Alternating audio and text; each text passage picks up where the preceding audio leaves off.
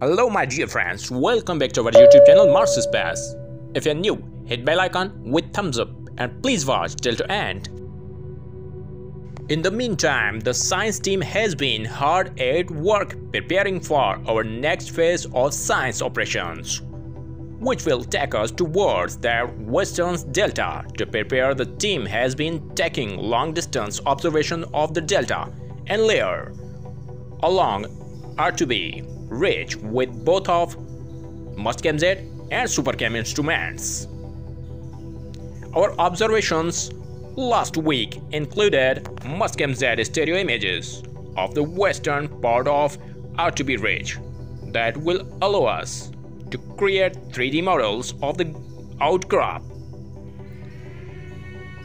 We also continued with atmospheric science including data collection during a dust storm originating in Hellas that passed over the rover during SOLS. NASA's Mars Perseverance rover acquired these images on 7 Feb 2022, Sol 344.